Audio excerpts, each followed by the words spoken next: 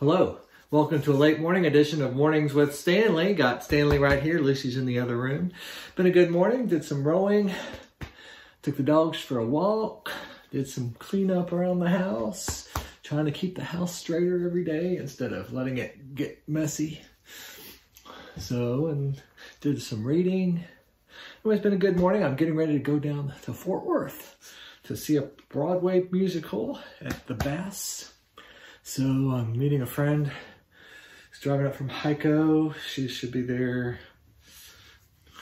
She says she drives slow. It's a 50 minute drive. And she left and we're an hour early. I don't know. Or she's a little hour early. She's Anyway, you don't need to know. I need to get this read. I need to get Stanley out so I can do the reading see if I can get this uploaded at least on Facebook before I leave. Maybe I can get it on both. This is Saturday of week 22, Knowledge of Jesus.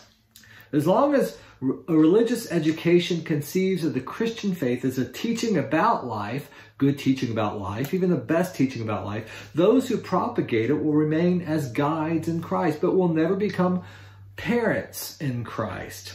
They have reduced the Christian faith to the word become word, capital W become little w, a philosophy or a moralism. Until it becomes the word become flesh, it is less than the gospel.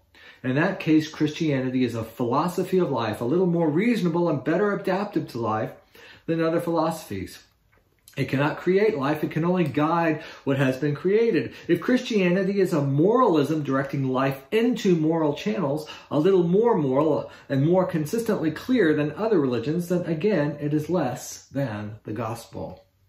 It takes its place among other moralisms, the highest place, for it is the highest morality as a guide to life, but it cannot create life. It cannot be a parent in Christ.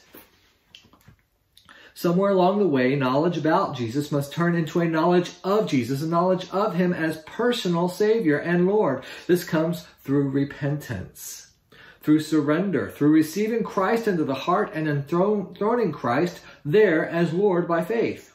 The moment that is done, life begins within. The religious education become a guide in Christ.